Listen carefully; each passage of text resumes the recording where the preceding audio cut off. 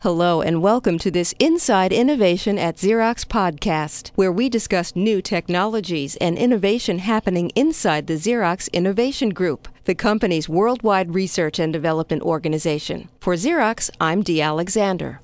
With a high intensity flash of light, Xerox Corporation has found a way to fuse color toner, forming images at speeds of almost 500 images per minute without contact with the paper.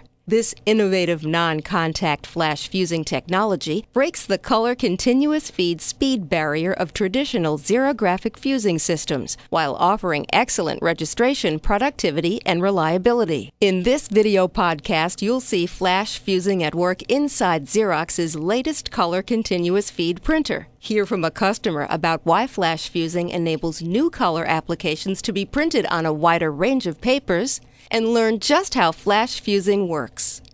The new Xerox Color Continuous Feed printing system utilizes a new technology called flash fusing, along with a uniquely designed and formulated toner. Flash fusing fixes the toner image on the substrate with a flash of high intensity light. It uses an array of xenon lamps and just with light energy will fix the toner permanently on the substrate. As a result, flash fusing enables a broad range of papers to be used from very light, as light as 40 GSM, up to 160 GSM. I believe flash fusing, you know, on this product really offers uh, some unique advantages that we haven't seen before, which, uh, you know, in our industry, postage costs are, are, you know, a significant challenge to our clients. They continue to go up, and uh, we think flash fusing will, will allow us to use a lighter weight substrate you know, and, and uh, possibly reduce costs for our clients. And uh, we think from a quality standpoint, the quality we've seen from this technology Xerox has developed uh, really is unmatched right now in the industry.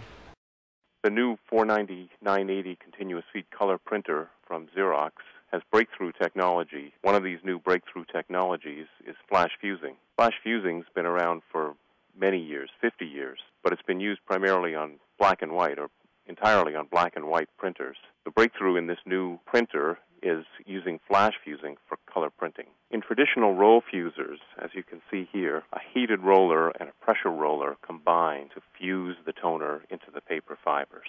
As you can see here in flash fusing, light energy is used rather than heat. A bright light is flashed onto the toner and the page. The light energy is absorbed by the toner but reflected by the paper, leaving the paper cool, the toner properly smoothly fused onto the pages. There are two main categories of fusing technology roll fusing and non contact fusing, like radiant fusing or flash fusing. Roll fusing uses heat and pressure to fuse the toner to the paper, creating a nice glossy image, which is great for cut sheet applications. Non contact fusers, like radiant and flash fusing, never actually touch the paper, which has two great properties. One is that because it doesn't touch the paper, there's no contamination from the paper to the fuser from the fuser to the paper. This creates a, a highly reliable fusing technology. A second nice property of non-contact fusers is that you can use substrates that are sensitive to pressure, like substrates that contain RFIDs or uh, plastic ID cards glued onto paper. In a non-contact fuser, those substrates go through without damage.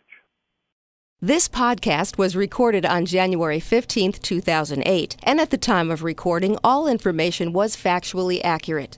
Because this will reside on the internet for a period of time, Xerox assumes no duty to update the podcast to reflect new information. Listeners should visit www.xerox.com/news for up-to-date factual information.